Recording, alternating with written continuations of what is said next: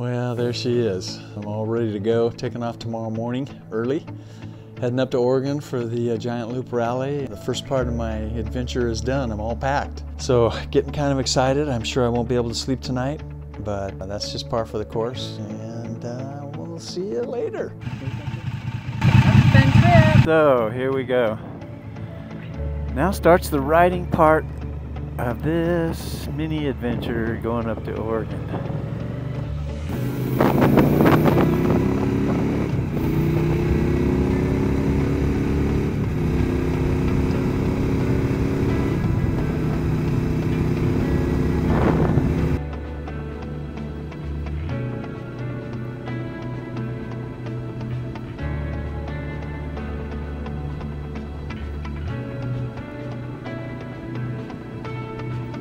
So here we are on Interstate 80, uh, heading from Sacramento going up to uh, Reno, Nevada, then Lovelock, and then uh, the destination for today is Winnemucca. It is just an absolutely glorious day. May 31st, 2023. All the rivers and streams are going full gun, and there's still a ton of water up here in the mountains. But what kind of amazes me is when you think about it, this is part of the California Trail where the pioneers came over these Sierras in wagons, and that just absolutely blows my mind. They came through this canyon, up and over on their way to the gold fields in Sacramento, and then also to uh, do farming and ranching and, and create a new life for themselves. And it was one heck of a trip. We're heading down now, going into Reno, which is the biggest little city in the world.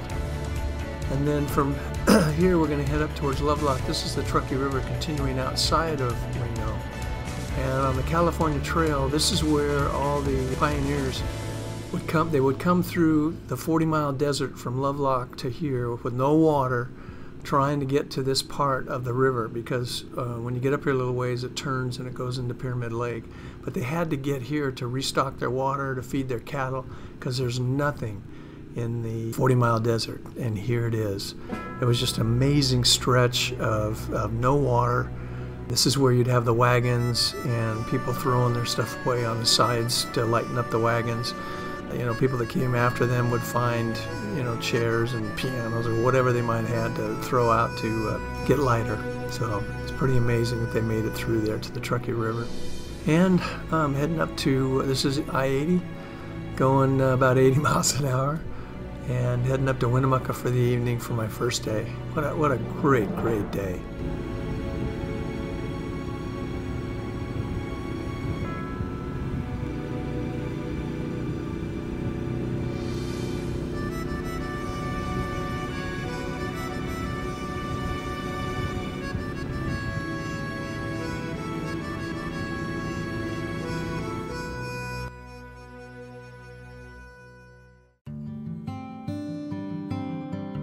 Second day, I was stopped by road construction about 40 miles outside of Winnemucca on Highway 95. These are the Santa Rosa Mountains, and this is what the country around here looks like. It's just this desert and sagebrush. But uh, these mountains provide water. There's streams coming down these things into this valley, and the valley looks like this. It's just green ranch land for uh, alfalfa, and they also grow vegetables, potatoes, and things like that out here. It's just amazing how this country changes with water back underway, and those clouds off to the left there were thunder boomers that were just beginning in the morning, and they were a warning sign for later in the day.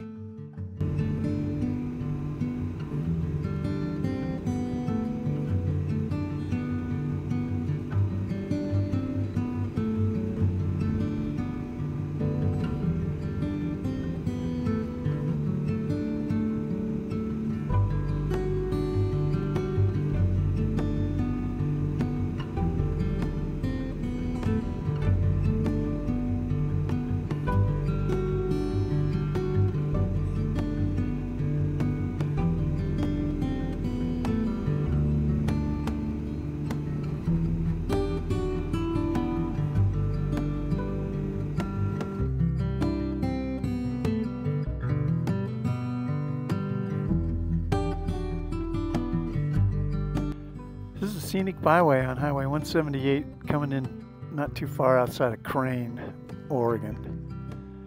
And I stopped to put the good camera on because it's just gorgeous.